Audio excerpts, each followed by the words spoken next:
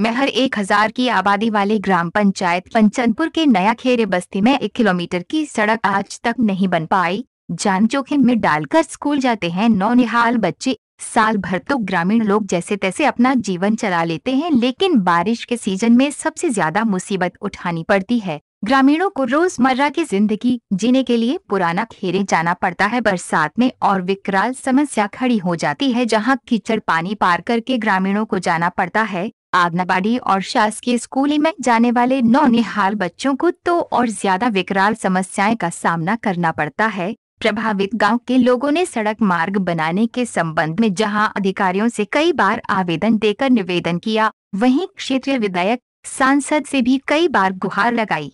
लेकिन ग्रामीणों को आश्वासन के अलावा कुछ नहीं मिला। ग्रामीणों की समस्या को सुनने के लिए कोई भी तैयार नहीं है। आवागमन की समस्या के चलते प्रभावित गाँवों में शासन की कल्याणकारी योजनाएँ का लाभ भी ग्रामीणों को नहीं मिल पा रहा है। परेशान ग्रामीण गाँव से पलायन कर शहरी क्षेत्रों की ओर जा रहे हैं। सतना से संवाददाता भीमुल सिंह की रिपोर्ट। खराब हो गए तो ले गए तो बच्चों को धुलाई किए कपड़े लगते चोट में लग गए तो हॉस्पिटल ले गए तो दवाई करवाए जो समस्या है वो सामने उसको भोगते हैं। कितने लोगों को मिला के अराजी है? ये अराजी कम से कम एक दो तीन चार पाँच आदमी की है। जी हाँ।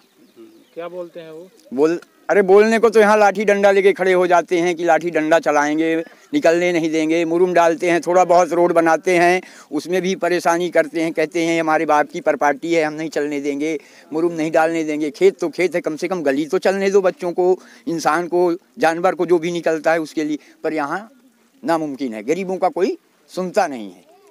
अमीरों की सरकीर है। आप अपना नाम बताइए। हमारा नाम है विजय कुमार त्रिपाठी।